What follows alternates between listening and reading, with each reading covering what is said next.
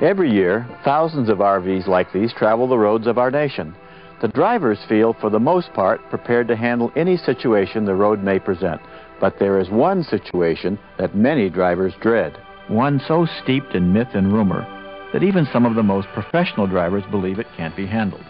That situation is the rapid loss of air in a tire, a blowout.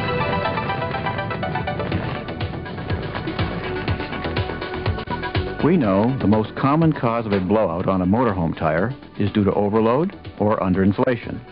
It is critical, therefore, that you know your loaded corner weights and keep your inflation pressures at the minimum required to carry these loads. Air pressure should be checked prior to each trip and each morning you travel. Here at the Nevada Automotive Testing Center, hundreds of drivers have learned what they should do to maintain control in the event of a blowout.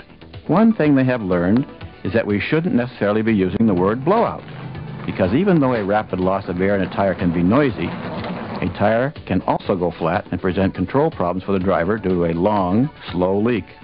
But perhaps the most important thing they've learned is that losing the air in a tire, even rapidly, does not automatically mean losing control. We are not here to offer you a guarantee.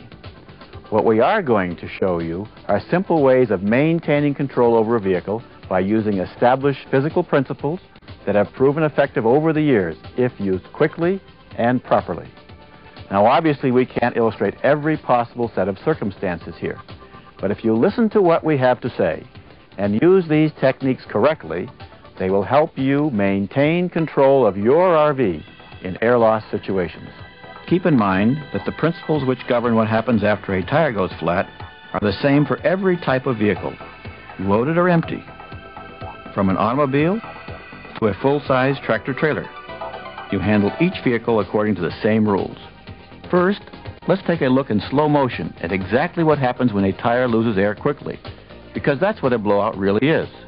When a front tire goes flat in a hurry, the front corner of the vehicle will drop, creating a side force.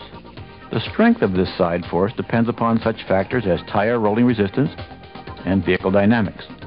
An important fact is that while the RV will continue to roll along on the deflated tire and wheel, the driver must compensate quickly for this new side force. What do you do to maintain control? The answer is under your right foot. No, not the brake. In fact, panic braking is the worst possible thing you can do. Taking your foot off the accelerator is the second worst. The real solution is stepping on the accelerator. Getting power to the drive wheels means maintaining control. The accelerator is your best answer when there is a force pulling the RV to the side. But wait a minute, you say. I don't want to go faster. I want to stop right now. I'm going for the brake and hard. When you do that, you may lose control of your RV. One of nature's basic laws says that an object going in one direction, such as an RV on a highway, will keep moving in that direction unless it is acted upon by a new force in a different direction. In our diagram, the size of the arrows approximate the magnitude and direction of these forces. A rapid air loss creates a new side force. Unless the driver compensates for this side force, the RV will move in a new direction. By stepping on the accelerator, the driver starts to compensate. He completes the compensation by making a steering correction. If you think about it, you deal with these external side forces all the time when you drive, especially in crosswinds or on some high crowned roads. All you do is step on the accelerator and correct with the steering wheel. There is no difference when a tire loses air. As the tire goes flat, a new side force begins acting on the RV. By stepping on the accelerator and correcting with the steering wheel, you maintain control of the RV. Then you can decide when and where to slow down and pull off to the side of the road. In the case of a front tire air loss, the obvious concern is the effect on the driver's ability to steer. When a tire goes flat, the RV wants to turn in the direction of the flat. As the driver steps on the accelerator, the added power applied to the drive wheels allows the driver more time to make the necessary steering correction. Now watch again and notice just how much steering and correction is needed. When we say step on the accelerator, we aren't talking about picking up speed rapidly. After stepping on the accelerator in an emergency, you should be able to diagnose the problem and get the RV stable before you gather up any significant extra speed. One other point about stepping on the accelerator. If you run your RV at its power limit or up against the governor, you leave yourself no extra power to deal with unexpected situations. On the other hand, If you step on the brakes in an air loss situation, you lose the forward force that allows you to maintain control. The RV suddenly becomes much more vulnerable to the side force. Without the forward force, you will be much less able to control the vehicle. For the purpose of this program, we're using vehicles loaded to approximate operating weight. We create blowouts in the tire using detonation cord. In slow motion, watch what happens when the tire loses air. It only takes a fraction of a second from the creation of the hole to the settling of the vehicle onto the wheel and the deflated tire. Until that settling occurs, the RV will keep right on going as if nothing had ever happened. When the weight of the RV comes down on the wheel and the deflated tire, the driver begins to feel the effects of the new side force through the steering or the ride. This is when the driver must take action by stepping on the accelerator and steering as necessary to maintain control. Let's compare front and rear tire air loss situations. The important thing to remember here is that you handle both situations in the same way. The key differences lie in the way they feel to the driver and in what effect they have on the behavior of the vehicle. Controlling rear tire air loss situations calls for the same driving technique as a front tire situation, with one important difference. When a rear tire loses air, the driver still has two good steering tires. The answer again is getting power to the drive wheel with steering correction is necessary to maintain control of the vehicle. Then the driver can choose when and where to slow down and pull off to the side of the road. Again, stepping on the brakes is the worst thing a driver can do. Whether the tire that loses air is on the front or on the rear, you deal with each situation in the same way, by stepping on the accelerator, followed by steering correction as necessary. Never give up on an air loss situation, even if it catches you by surprise.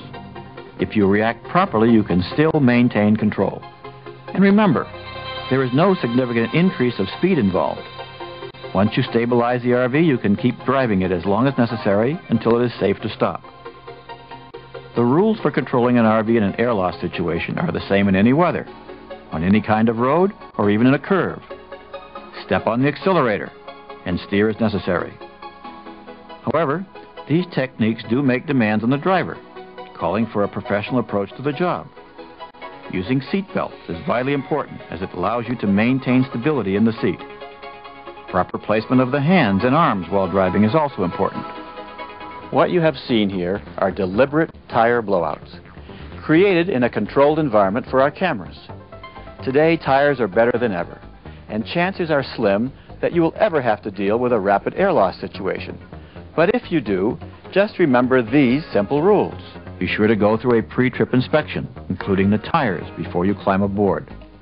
Proper seat position, hand position, use of seat belt and good driving habits will give you a head start towards handling any situation. When you hear, feel, or see something wrong, maintain control of the RV first, and then look for the cause of the problem. If the problem is the front tire, you'll probably feel it through your hands on the steering wheel. A rear tire problem affects the ride, so you're more likely to feel it through the seat. No matter which kind of flat tire you're dealing with, you maintain control in the same way. Step on the accelerator and steer as necessary. As we said at the beginning of this program, tire blowouts have been the subject of myth and rumor too long. You, the driver, are the critical factor. In your accelerator and your steering wheel, you have all the tools you need to handle a blowout. 41 years of testing at the Nevada Automotive Test Center tells us so. The drivers you have just watched have learned to follow these simple rules, and you can handle air loss situations just like they did. Thank you for watching, and drive carefully. Michelin, a better way forward.